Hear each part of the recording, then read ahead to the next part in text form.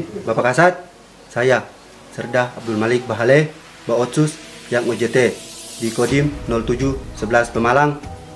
Kami sekarang kami berada di usaha pembuatan telur asin milik Peltu Kartaji. Bahan-bahan yang digunakan meliputi yang pertama telur bebek, yang kedua tanah merah, yang ketiga garam. Adapun cara pembuatannya, yang pertama telur bebek dibersihkan atau dicuci dengan air yang bersih. Yang kedua, setelah itu kita membuat adonan tanah merah dengan garam perbandingan 1 sepertiga. Contoh dengan ga- contoh 1 kg garam dengan 3 kg tanah merah.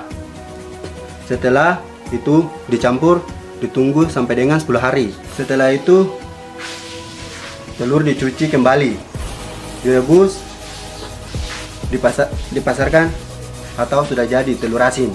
Dari OJT tersebut, kami sangat berterima kasih. dapatkan ilmu dan pengalaman sebagai bekal saya nantinya untuk bertugas. Khusus luar biasa